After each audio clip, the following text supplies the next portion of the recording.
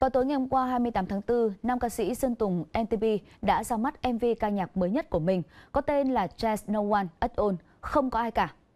MV này ngay lập tức đã đứng top 1 xu hướng trên YouTube Việt Nam với hàng triệu lượt xem chỉ sau vài giờ. Tuy nhiên, rất nhiều người, đặc biệt là các bậc phụ huynh, đã có những phản ứng gai gắt vì cho rằng MV này có nội dung quá u ám và tiêu cực và thậm chí là có xu hướng cổ suý cho việc tự tử trong giới trẻ. Ngày hôm nay, các cơ quan quản lý nhà nước đã lập tức có nhiều biện pháp yêu cầu ngừng lưu hành, gỡ bỏ ca khúc này. MV There's No One at All của Sơn Tùng NTB kể về một cuộc đời bi kịch của một chàng trai bị bỏ rơi, lớn lên trong cô nhi viện, bị bạo lực học đường và trở thành một kẻ quậy phá quấy rối. Kết thúc MV, chàng trai nhảy từ trên cao xuống để tự kết thúc đời mình, giải thoát bản thân khỏi cuộc sống đơn độc, không gia đình và ngột ngạt.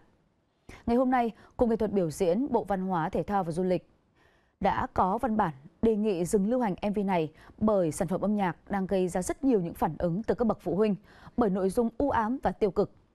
Trong khi đó, Cục Phát thanh Truyền hình và Thông tin Điện tử, Bộ Thông tin Truyền thông đánh giá tác phẩm này mang thông điệp tiêu cực, không có tính giáo dục với nhiều cảnh đập phá, bạo lực và kết thúc là hình ảnh nhân vật tự tử đã tác động mạnh đến tâm lý người xem, dễ gây ảnh hưởng, định hướng hành vi tiêu cực của trẻ em.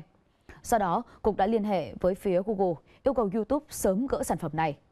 Thông thường, quy trình này sẽ mất khoảng từ 1 đến 2 ngày. Cục này cũng đã đề nghị các nền tảng khác không được đăng tải MV này. Hiện phía ca sĩ Sơn Tùng NTP chưa phản hồi về những tranh cãi xung quanh sản phẩm âm nhạc mới này.